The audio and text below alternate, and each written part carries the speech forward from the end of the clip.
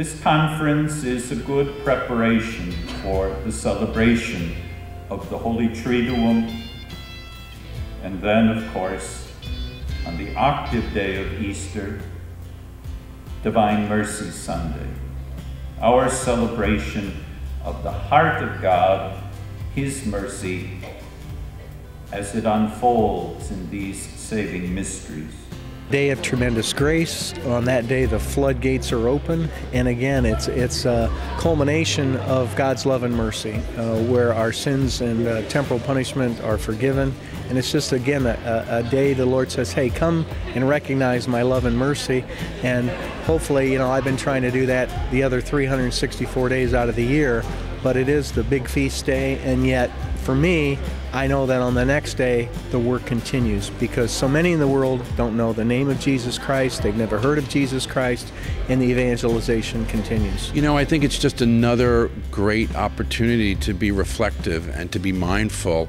Um, I don't think we have enough of those times that we, we stop and we think and we pause and we're reflective. Easter, obviously, is, is one of my favorites, along with Good Friday, you know, that there is suffering and there's redemption, and followed by, you know, God's mercy. I don't know if you can think enough of that. I think uh, every Sunday should be that. But, but again, you know, you, you have to. Um, you know, again, I think it's about being mindful and taking the time, and it just makes us more aware, you know, uh, and hopefully more conscious that we can grow in our consciousness that we're not alone and that God's mercy endures forever. It's very important for your children to know that there's a legacy, that there is something more than what is here. And Divine Mercy Sunday is more than Easter eggs and gifts. It's a family day. It's a day of thanks, thanks and acceptance and forgiveness?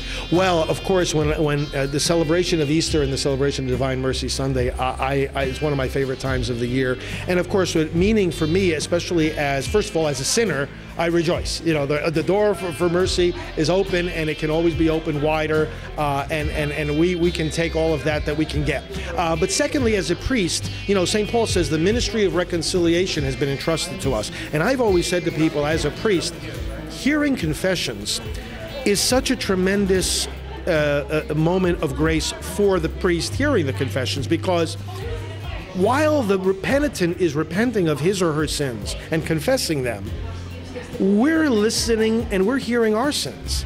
And we're repenting all over again along with them. So it is not just the priest is giving forgiveness to this penitent, it's that penitent and priest together are celebrating the divine mercy in that sacramental moment. So it's a time when I am renewed in my priesthood as we celebrate this feast each year, and I and I always think with gratitude to John Paul II, under whom I also worked at the Vatican uh, for a couple of years, and uh, the gift he has given to the Church by instituting this as a formal feast. I think it's the a kind of a capstone or a, a moment to consummate uh, the great uh, Paschal celebration. Uh, we celebrate this wonderful uh, pa- Passover of Jesus from death to new life. And then on the eighth day, the octave day, we uh, give thanks to God that uh, this mercy has touched us personally.